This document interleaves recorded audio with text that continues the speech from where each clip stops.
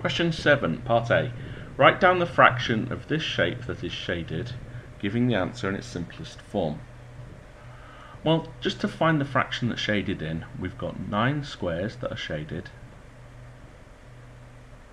out of a total of 1, 2, 3, 4, 5, 6, 7, 8, 9, 10, 11, 12, 13, 14, 15.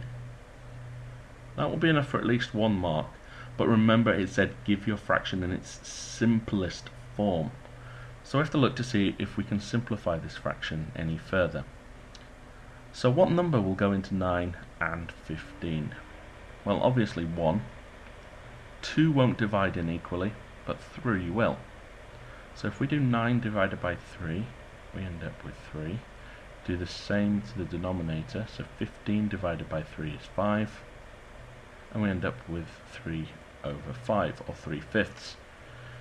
Now there is no other number that will go into both of these, so your final answer in its simplest form is 3 over 5. Part B says write 9 over 10 as a decimal. There's a lot of ways to do this. The easiest way is just to memorize the fact that 1 tenth can be written as 0.1. That first number after the decimal place is called, is called the tenths column.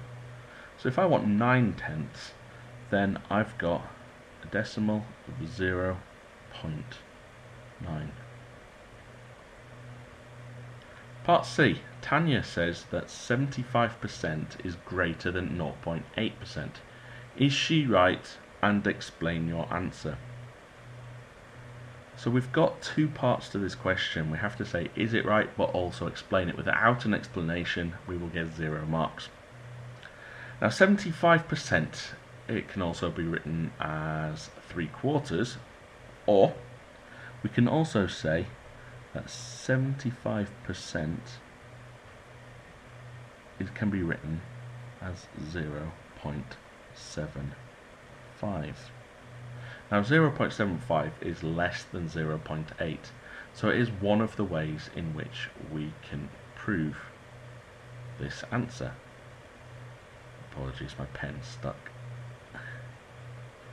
The other way we could prove this would also be to say that 0.8 is the same as saying 80%. So there's our reasons. We can use either of these justifications to prove that one number is bigger or less than the other. But Tanya said 75% is greater than 0.8. Well, it's obviously not. 75% is less than 80%. So what we're going to have to say is no, because she's not right. And use one of our justifications just to prove it. I think the easiest one is to write percentage as a decimal. So 75% is 0.75 as a decimal.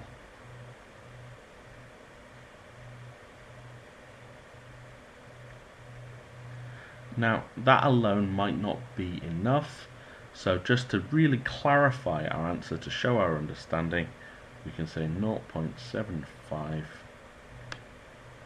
is less than 0.8